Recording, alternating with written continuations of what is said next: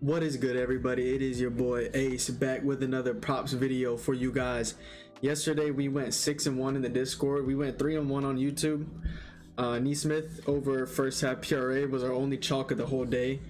I added three more props after um, the YouTube video later in the day, like later the next day, and they all cashed. So remember, guys, if you guys want to join the Discord, you get every single one of my plays. Like I, I went three and one on YouTube, which is still pretty good. But you know, if you join the Discord, you would have caught three more cashes. We went six and one, 86% in the Discord. Um, so these are going to be the new prices starting Friday. I keep trying to remind you guys. I know I sound like a broken record, but I'm just trying to remind y'all because a lot of y'all have, have been joining from YouTube. So I'm just trying to remind you guys. New prices go into effect on Friday. It is already Thursday, 12 a.m. Yeah, so 24 hours from now, from the time that this is being recorded, uh, the prices will already be in the new prices. So right now you can get this starter membership with all these perks. You could you could re- uh, pause pause the video real quick and read it.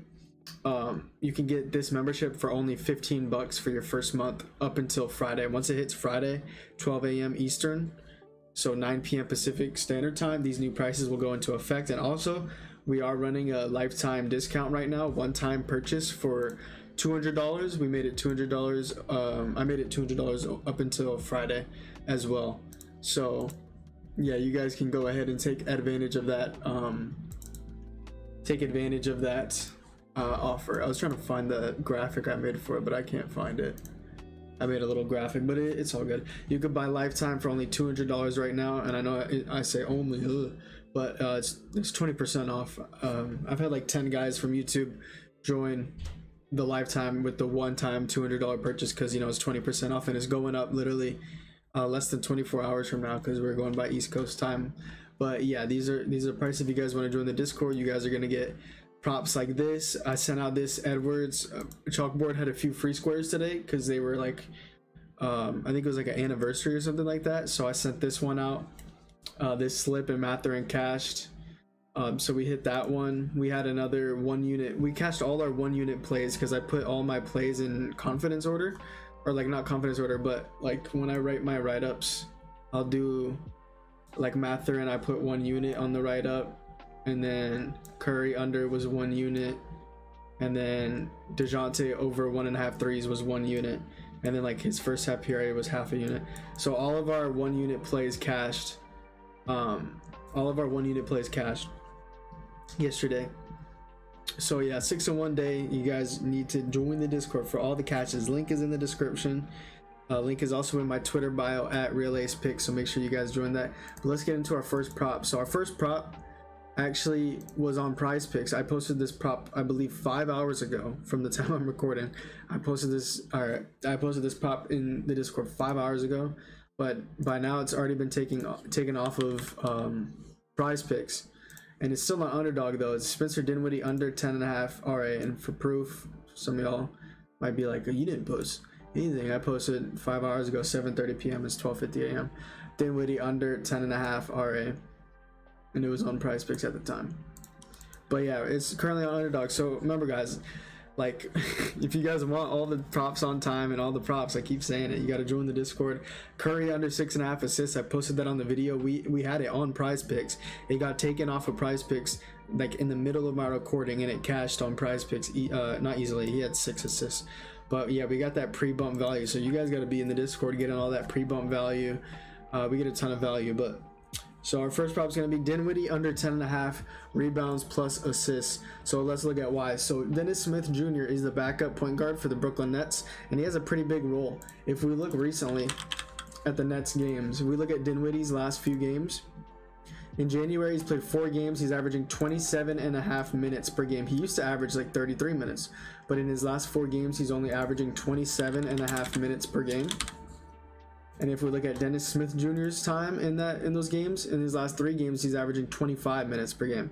So he's only averaging like two to three less minutes than Spencer Dinwiddie, which is kind of crazy. He used to average only 21, and Dinwiddie used to average like 33, and now they're like right next to each other. So Dinwiddie is cutting into Dinwiddie, or Dennis Smith Jr. is cutting into Dinwiddie's production, as you can see. Um, Dennis Smith Jr. 10 assists, 7 assists, 4 assists, 12 rebounds in one of these games. So he's been cutting into that RA production from Dinwiddie's uh, role. He's been cutting that RA out.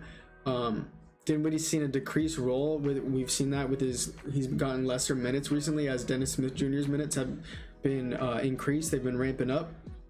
Um, but yeah, let's look at their potential assists real quick. Potential assists in their last five games. Last five games for the Brooklyn Nets.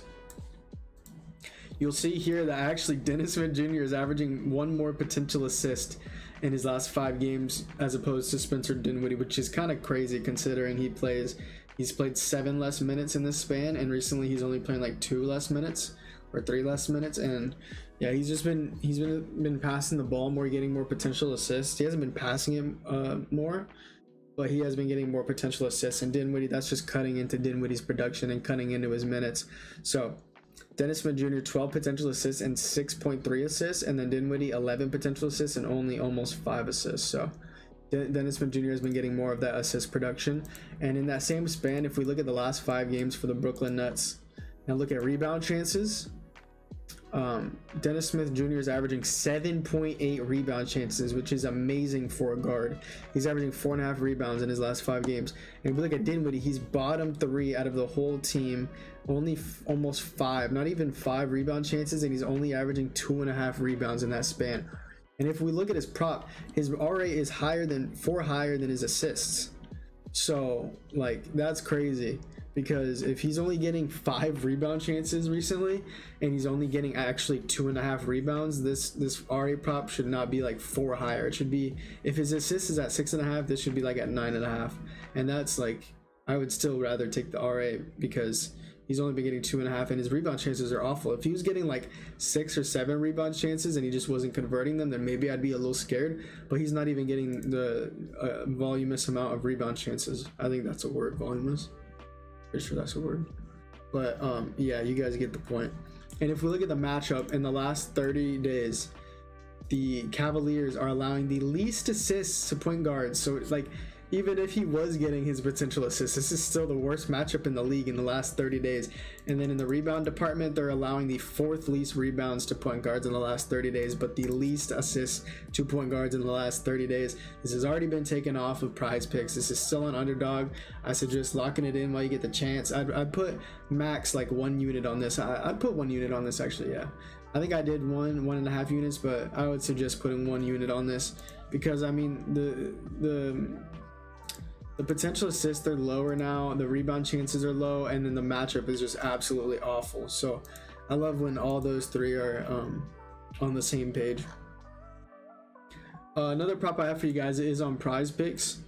And this one is a little bit risky, okay? Bear with me. If you don't like the write up, if you don't like the prop, you don't have to take it. You could reverse it or you could fade it.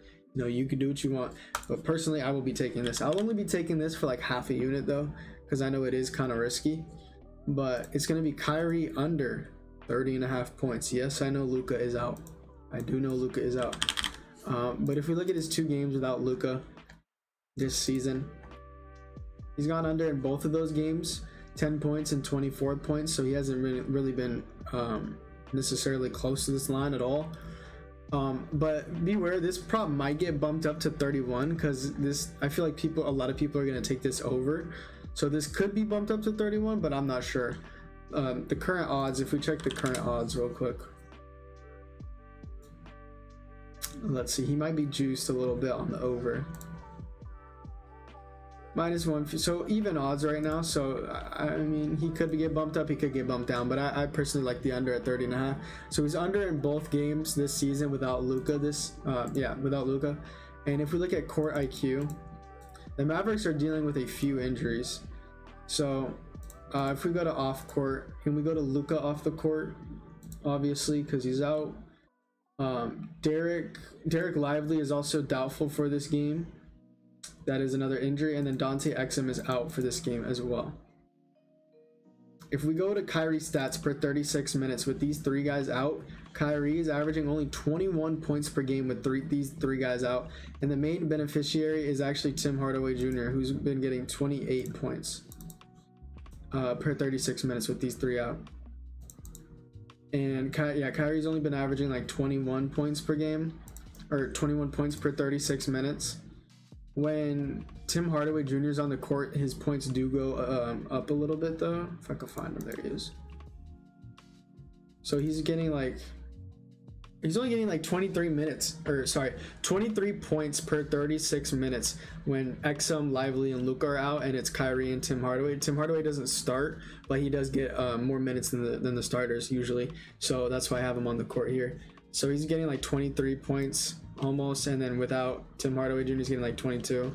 So yeah, that's very very lower than that 30 30 and a half line that we saw, right? Also, the starting lineup for this Mavericks team is going to be Kyrie Irving, or expected to be Kyrie Irving, uh, Hardy, I believe his name is uh, Jaden Hardy, if I'm not mistaken. Yeah, Jaden Hardy. Uh, Josh Green, Derrick jo- Jones Jr., and Dwight Powell.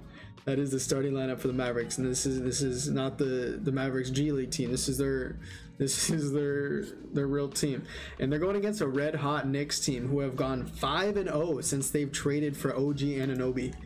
5 and 0 that is insane. They've beaten teams like the the timberwolves. They beat the timberwolves the first game with og they've also beaten the sixers with Embiid and they blew them out. So they've beaten some pretty good teams. They've beaten some pretty bad teams as well but they've beaten some pretty good teams in that five game win streak.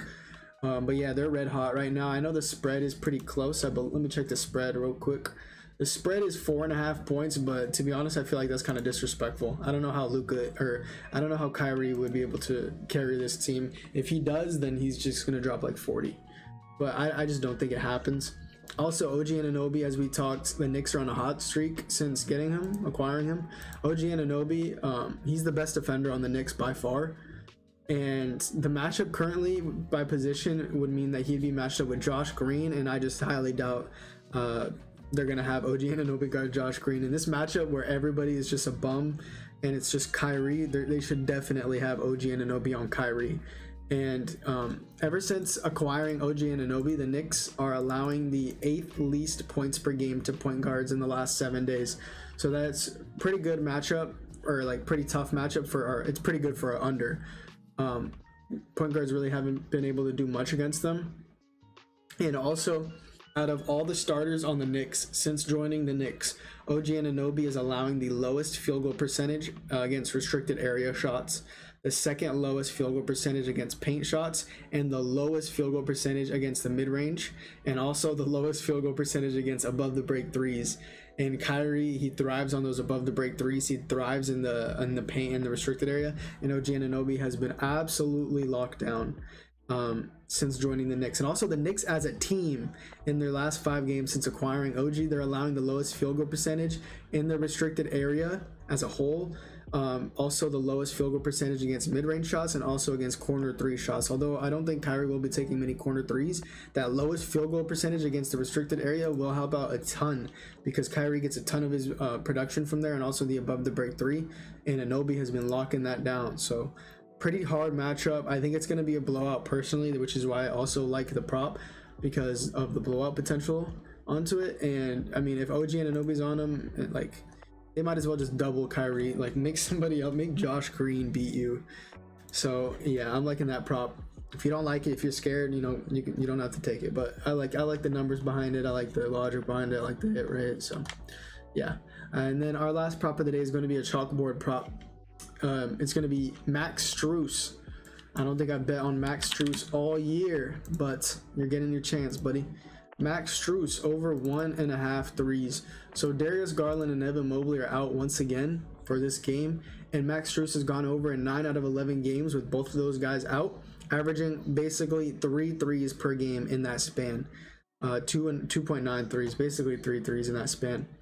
Also, the Nets as a team, if we look at their last five games, Who's allowing the most, or who's allowing the highest above the break three point percentage in their last five games? The Nets, huh? Okay, pretty good matchup, right? Last ten games, surely, surely not. Yep. Okay, the Nets again. Last fifteen, no way, right? Surely, okay. So the Nets have been allowing the highest three point percentage against above the break threes in the last 15, the last 10, their last five games. So continuous trend. We love to see multiple data points showing the same thing. Um, that's that's absolutely insane. Last 10, 15, and 5 games, they're allowing the highest three point percentage against above the break threes. And that's where Max Strus uh, thrives. If we look at his last five games as a whole, He's shooting 36% from that above the break three, and he's also been very good in, uh, in corner threes with not that much uh, volume though. But he's shooting 43% in that minimal volume, so he could hit a corner three and then an above the break three, and would be good. But um, specifically, Max Strus in his last five games, and just in general, he's a he's a catch and shoot three point shooter. If we look at catch and shoot specifically, He's averaging the third highest catch and shoot three point percentage in the Cavs' last five games, averaging almost 41, so 40.6% from catch and shoot threes. He's also taking the most catch and shoot threes on the team. So um, even though he doesn't have the best, the highest percentage, even though he's the third best, so that's still really good, he's taking more threes than these other guys. So I mean, we love the volume there, right? Catch and shoot. But let's look at how the Nick, uh, the sorry, the Nets specifically are against the catch and shoot three. Um, I believe I have it. Yeah, I have it here. In their last 10 games, the Nets are allowing the second highest three point percentage against catch and shoot threes in specific. So we're getting very much into specifics here. Max Strus, great three point shooter, great catch and shoot three point shooter. The Nets awful against guarding three and also awful uh, at guarding the catch and shoot three point. I know that they're not the most, but they're still allowing 46.6% catch and shoot three point percentage, which is higher than they're um, allowed above the break three in general. So they're even worse specifically against catch and shoot threes. And Max Strus has just been killing it from catch and shoot threes. And also, the uh, Max Strus, he played the Nets one time this season. It was months ago, so I mean, I don't really care about games from months ago. He did play him one time this season, October 25th, and he had seven three pointers. So, I mean, he's already done it against them. I know some of you guys might care about that. I don't really care about that stat because it was months ago. But yeah, he killed them earlier this season. So, um, yeah, great matchup for him. So we got three props for the YouTube folks. Dinwiddie under 10 and a half RA. It was on prize picks. We posted on prize picks in the Discord, but now it's been bumped or taken off the board completely. It might be back up. It is not. It's on underdog though, sleeper chalkboard. Dinwiddie under 10 and a half. Uh, rebounds plus assists, and then prize picks Kyrie under 30 and a half points, and then chalkboard Strus over one and a half threes. So if you guys like this video, please leave a like down below. If you guys are tailing anything, comment down below what you are tailing. Um, I'm hoping we cash again. Yesterday we cashed on the channel. We cashed even more in the Discord. So remember, guys, these are the membership, the prices that are going to into effect later on today, or not later on the day, like 20 hours from now. So go ahead, join the Discord as soon as possible. Go ahead and DM me. Lock in that $200 lifetime. It's only $200 until until Friday, 12 a.m. If not, go ahead lock in a starter membership. Um, right now, it's only $15 for the first month until Friday, or you know, lock in another membership. But yeah, those those prices are on discount until Friday, 12 a.m. But yeah, this has been another video. I'll catch y'all in the next video. Good luck and deuces.